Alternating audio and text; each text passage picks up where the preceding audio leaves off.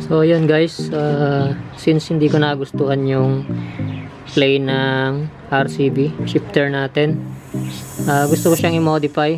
Itong ano niya, original shift niya is 1 uh, down, 5 up. Gusto ko siyang i-modify na gagawin ko na lang siyang ano, 1 uh, up, 5 down. So tanggalin muna natin. Modify na lang natin.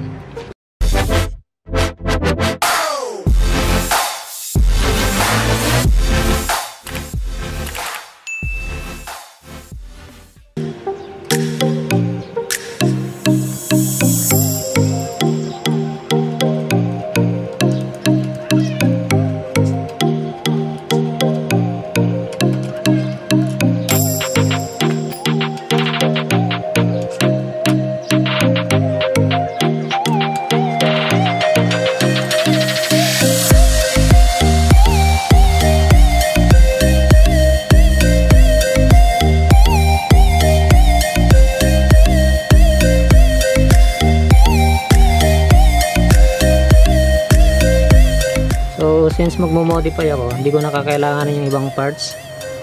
Ito na lang kakailanganin ko yung gear pedal, yung spacer, adapter, tsaka yung parts ng shaft, yung ganito, isang ganito. Yung iba, hindi na natin kakailanganin kasi ila-direct na natin siya sa ano.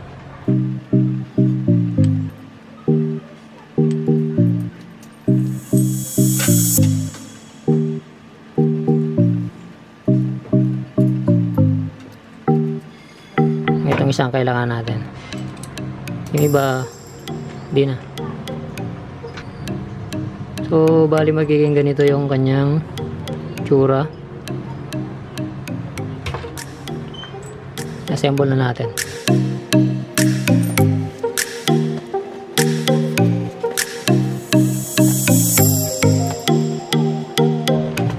Gear pedal plus yung spacer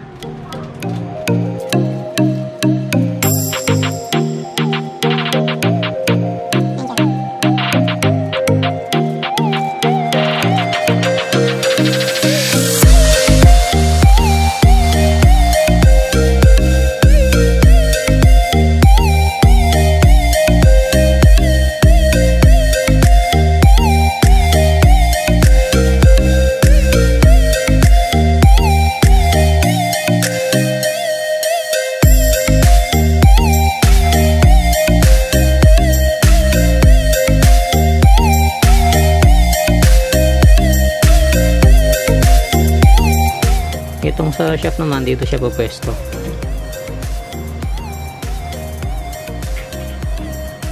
Magiging ganyan yung itsura niya. Then, lalagay tayo dito.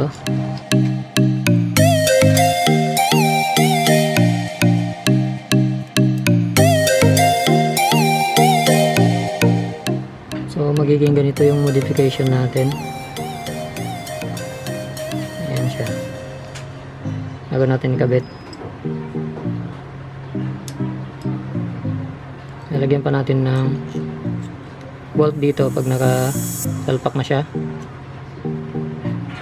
Then may nut dito sa dulo.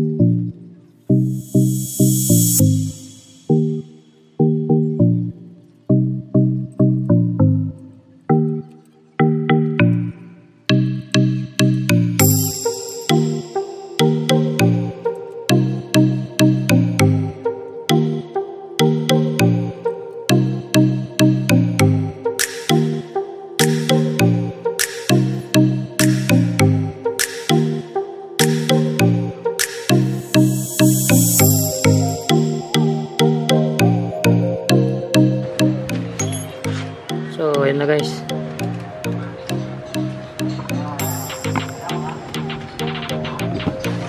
Ayan na siya. 1 up, 5 down na siya. 1 up, and puro 5 down. 1 up, 5 down. Yan yung modification niya. Yan yung magiging tsura niya.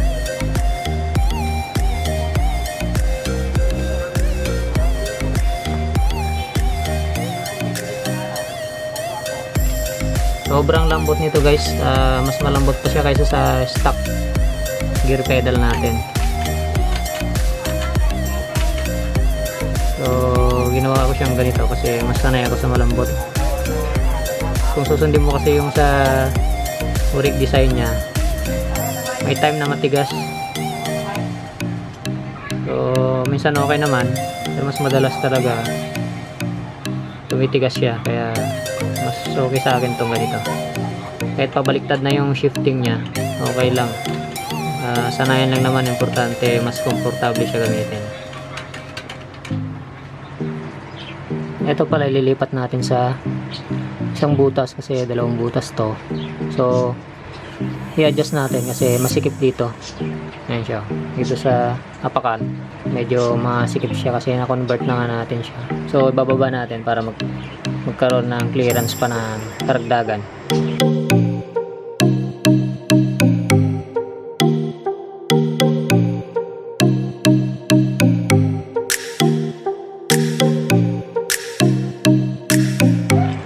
Mas maganda pala bago niya ikabit to lipat nyo na tong ano muna natin goma.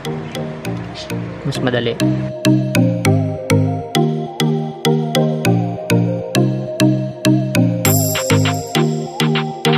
so pag ganyan mas lumuwag na siya ng konti dito. So kahit nakasapatos ka mas maluwag mo nang makakawit yung ano, masusungkit yung shift pedal natin. So higpitan na lang natin.